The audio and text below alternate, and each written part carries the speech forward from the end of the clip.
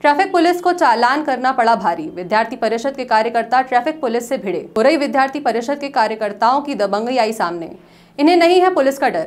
Traffic सिपाही के साथ मारपीट कर दी की धक्का मुक्की। सोशल मीडिया पर वीडियो वायरल। अब देखना यह होगा कि पुलिस अधीक्षक ऐसे दबंग लोगों पर क्या करते हैं कार्रवाई। पूरा मामला उरई के कालपी बस स्टैंड का बताया गया है।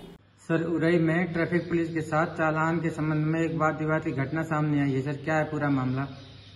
जिला जालौन कस्बा उरई में ट्रैफ़िक पुलिसकर्मी जो कालपी बस स्टैंड पे चेकिंग कर रहा था। एक मोटरसाइकिल का चालान करते वक्त मोटरसाइकिल सवार से उनका वाद विवाद हो गया। दोनों पक्ष से आरोप प्रत्यारोप लगाए जा रहे हैं। इस पूरे प्रकरण में मेरे द्वारा जाँच की जा रही है।